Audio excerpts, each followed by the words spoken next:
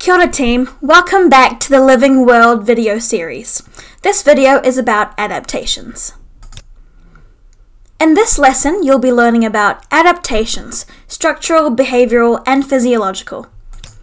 By the end of this lesson, you should be able to describe how animals use their adaptations to survive in their habitat. Living things are adapted to their habitats.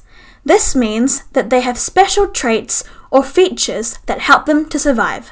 For example, an African elephant lives in a hot habitat, so it has very large ears that it flaps to keep it cool.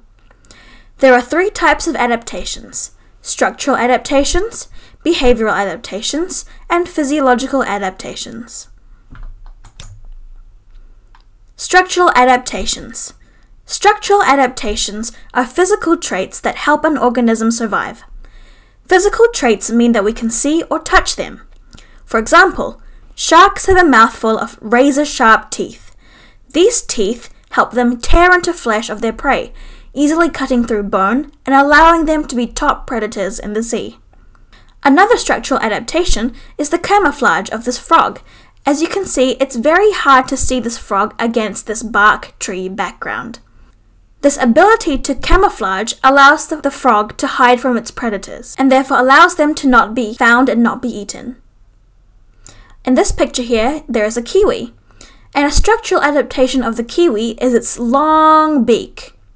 At the end of its long beak are nostrils.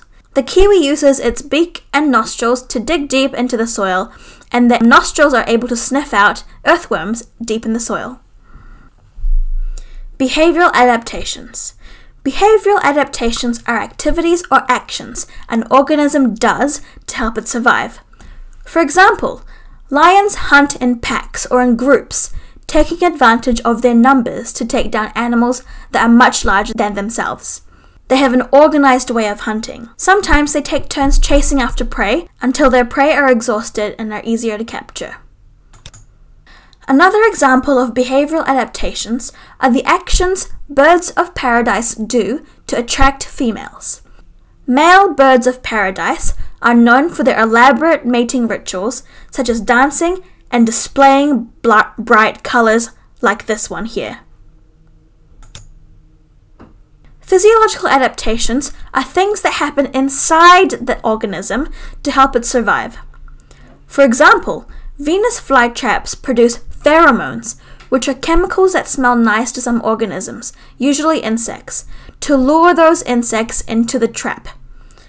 Another physiological adaptation is that Venus flytraps produce digestive juices, which break down the insect once it's been trapped into something the Venus flytrap can absorb. Yum! Kapai, you've made it to the end of our lesson.